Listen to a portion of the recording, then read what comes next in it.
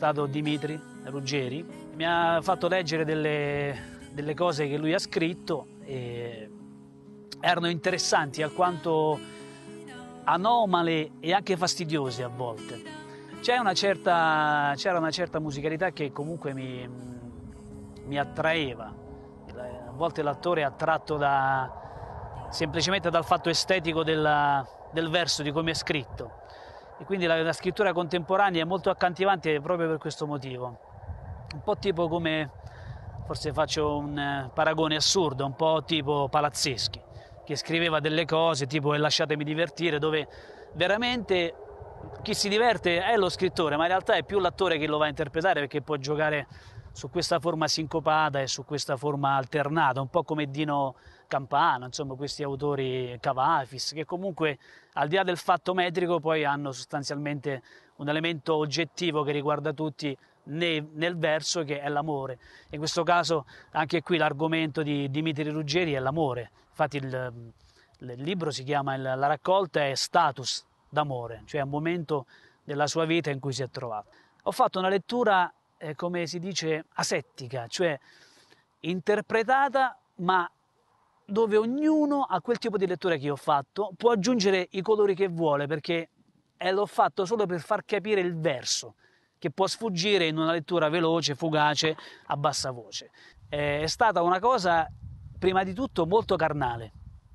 perché le poesie sono molto in, in alcuni momenti sono molto, molto sensuali, anche molto sexy in un certo senso, perché c'è anche eh, un riflesso di una passione molto carnale, molto fisica e si sente. Ho colto questo, questa, questo momento emozionale relativo alla sensualità del, del, testo e che è stata la cosa che mi, ha, che mi ha condizionato di più nella lettura. Però la cosa che mi ha, che mi ha preso per mano e mi ha portato all'interno di questa, di questa lettura, che spero poi vi piacerà l'ascolto, ma soprattutto la cosa importante qui è il testo, cioè ascoltare ma soprattutto leggere attentamente il testo, cioè il mio ruolo qui è solo quello di eh, darvi una, una, chiave di lettura in più, cioè di, di dirvi, vabbè, il verso va letto in questo modo, ma la cosa importante è il verso in sé per sé, cioè è proprio il libro, poi l'audiobook e tutto il resto sono delle compagini che vanno aggiunte, ma la cosa importante è la potenza del verso. La potenza del verso in questo caso per me è stato un fatto di trascendenza o di surrealismo che c'è nel testo e questo, questo forte legame passionale che poi si,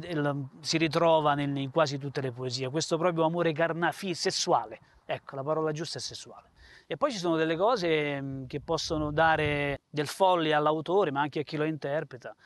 di, di, di paesaggi un pochettino mm, surreali, che non, che non, sono qui, ma possono sicuramente essere, vivere in un'altra parte, che vivono sicuramente dentro l'immaginazione dell'autore, come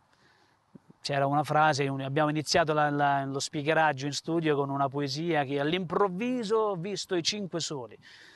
Per questo progetto eh, mi è piaciuto molto utilizzare strumenti eh, classici acustici, a partire naturalmente dalla, dalla chitarra classica, e, mh, per poi aggiungere flauto, traverso, mh, violino e violoncello. Ehm, era la prima volta che mi cimentavo nella scrittura con, con il viol- per il violoncello e l'ho trovato molto molto stimolante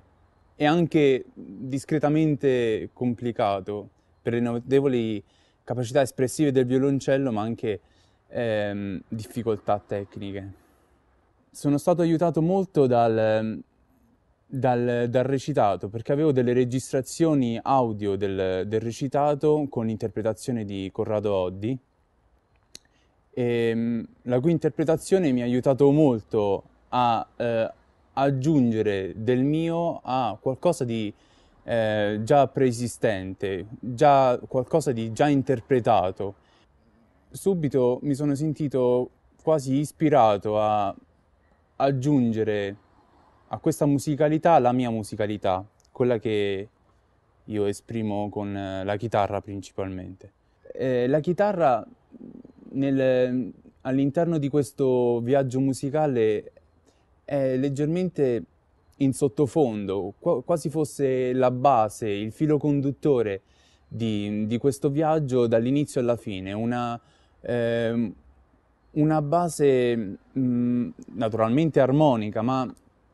quasi un,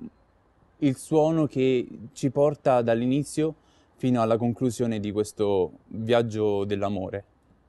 Ho cercato di ehm, ascoltare e percepire quello che ciascuna, eh, quel, il suono che ciascuna poesia mi, i, mm, mi ispirava. Mm, le poesie, mm, ciascuna poesia ha, un, una sonorità diversa, ha un ambiente quasi di, eh, differente, ci porta naturalmente all'interno di un, di un viaggio ben codificato in posti differenti e quello che ho cercato di fare io con le mie musiche è appunto ricreare posti, nel mio caso musicali, delle ambientazioni musicali all'interno di posti fisi- fisici che ciascuna poesia eh, mi ispirava. Alcune sonorità più, diciamo, arabeggianti o eh, addirittura spagnole sono state proprio, mi sono state proprio tirate fuori quasi spontaneamente dal, dalla musicalità, dal ritmo delle poesie e naturalmente del recitato.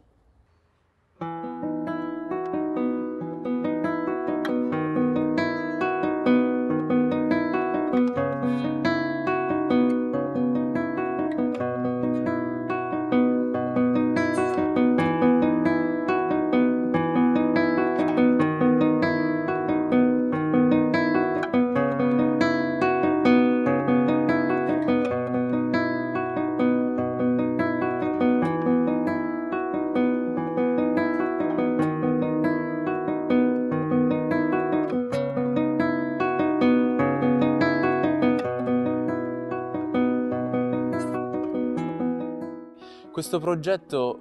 eh, si potrebbe scrivere in modo diverso se non ogni giorno della, della vita di, di ciascuno,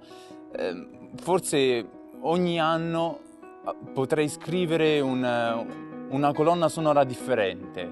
perché ogni anno è, è diversa l'esperienza di una persona, è diverse le, le sensazioni che uno ha. Io sapevo subito, dopo aver letto anche due o tre parole di una poesia, quale atteggiamento, quale ambiente avrei voluto ricreare per, per, per quella poesia. Ho notato subito che l'andamento di, ehm, sequenziale de, delle poesie, appunto, era un andamento altalenante, diciamo che ehm, le sensazioni, la, la forza di ciascuna poesia rispetto alla successiva era quasi opposta, come se fosse un, eh, una, una, pulsazione con eh, un'andata e un ritorno, quasi un incrementare della forza mh, della parola, ma anche del, ehm, della sonorità di ciascuna canzone e un, un rilassamento subito dopo la, la poesia successiva anche in base a questo ho dovuto cercare di, di creare questo, ehm, questa ambivalenza tra una poesia e la successiva, cercando di ehm, fare qualcosa di più intimo, come una chitarra sola, nelle poesie più delicate e, e più ristrette nel senso di, di forza mentre ehm, in quella successiva ho cercato di aggiungere strumenti, di mettere dentro informazioni, ehm, forza, anche rabbia in alcune, per creare proprio questo stacco netto tra una poesia delicata, magari ehm, più introspettiva rispetto a un'altra più forte, più energica, che trasmette proprio una, una forza maggiore rispetto ad altre.